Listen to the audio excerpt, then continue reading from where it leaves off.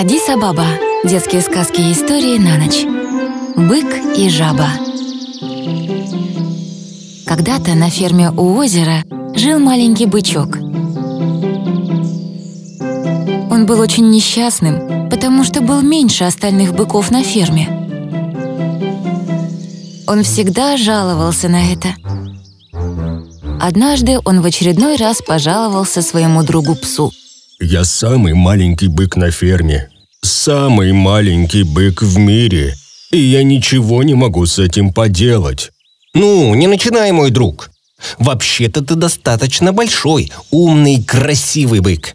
Невозможно нам всем быть одинакового размера, не так ли? Да, но почему я не самый большой бык? Послушай, я тоже не самый большой пес в мире. Я уверен, что где-то живет пес больше, чем я. Но я не беспокоюсь об этом. Я счастлив быть тем, кто я есть. А я нет.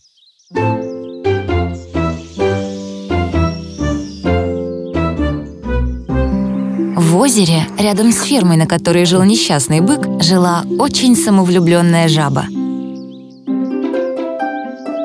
Она любила хвастаться перед друзьями тем, что была самой большой жабой на озере. Она очень гордилась этим. Я самый большой из жаб на этом озере. А тот, кто самый большой, должен быть королем.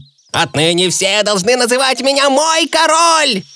Но нет закона, что королями становятся самые большие. И нам вообще не нужен король. Почему? Везде есть короли. Например, лев – король джунглей. Но лев не самый большой зверь в джунглях. Там есть, например, слон. Самовлюбленная жаба ненадолго призадумалась, но вскоре ответила в своей обычной хвастливой манере. Но здесь не джунгли, и вы не слоны. Я король и точка. Остальные жабы посовещались и решили преподать хвастливой жабе урок. Но не могли придумать, как проучить ее. Однажды, плывя по озеру, жабы увидели быка, который грустно пасся на берегу. Никогда в жизни они не видели настолько большого существа. Ого, какое большое животное! Тут же у них появилась идея. Если королем должно быть самое большое животное, пусть вот этот зверь будет нашим королем. Жабы тут же подплыли к быку и, рассказав ему о своем плане, попросили о помощи. Но я всего лишь маленький бычок. Как я могу помочь вам? Маленький? Ты? Мы приведем к тебе своего друга, который очень себя любит, а остальное предоставь нам. Хорошо, но сейчас я должен вернуться на ферму.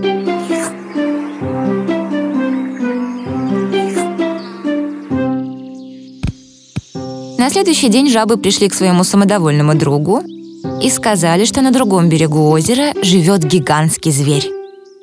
Он хочет увидеть тебя. Посмотрим на этого вашего гигантского зверя. Жабы отправились на другой берег реки.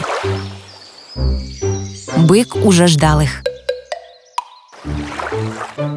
Самодовольная жаба, увидев быка, едва не проглотила свой маленький язык.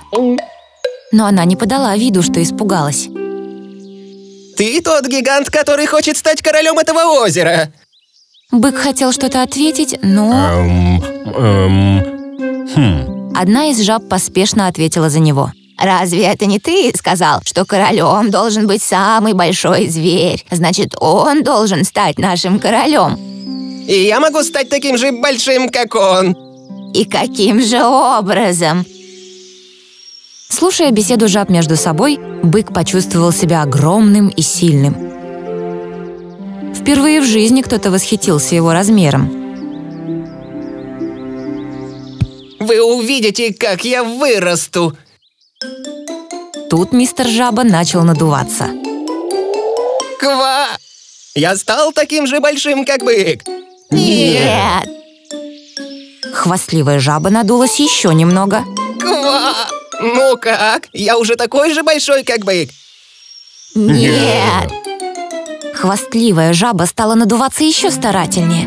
Она уже не могла говорить. Она могла только смотреть на других жаб в ожидании ответа. Другие жабы начали смеяться.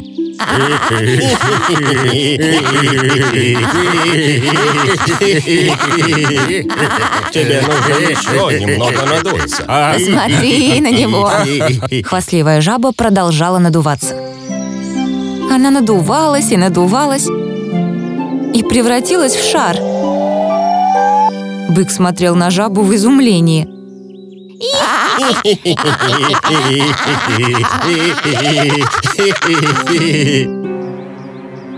Надутая жаба стала такой большой, что уже не была похожа на жабу. Она была так сильно надута, что начала потихоньку подниматься в воздух.